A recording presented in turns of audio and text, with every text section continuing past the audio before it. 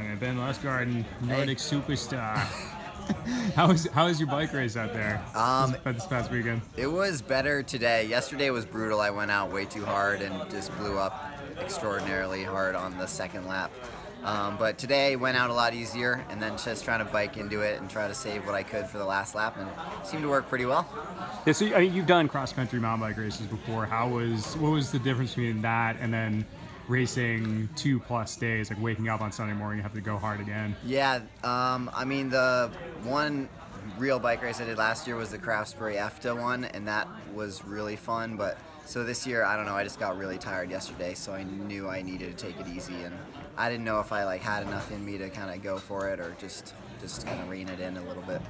So what what is like what exactly is your, your like Nordic status? Like do you do you go to the Olympics? Like are you um, what I'm trying you to qualify Okay. for the Olympics, so I'm on the level below the US ski team, just the domestic pro, and then we're all trying to qualify for World Cup and Olympics. Right, so how much how much on the bike training are you actually doing? This year was not right? much at all because I crashed um, on a little Tuesday night 10K race and then hit my knee pretty good.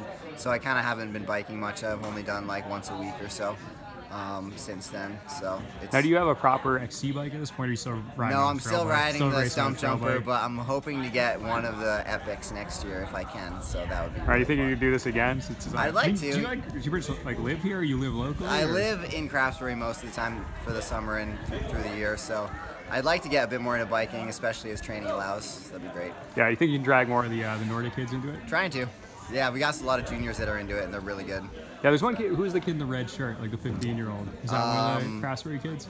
So he, he's Elias. Uh, he's trains with us or does the mountain bike program on Wednesdays. There's also some of the Craftsbury Nordic juniors that race, like Avery and Phoebe and Finn. So Nice. yeah. All right, good stuff this weekend. Thanks. Thank you so much.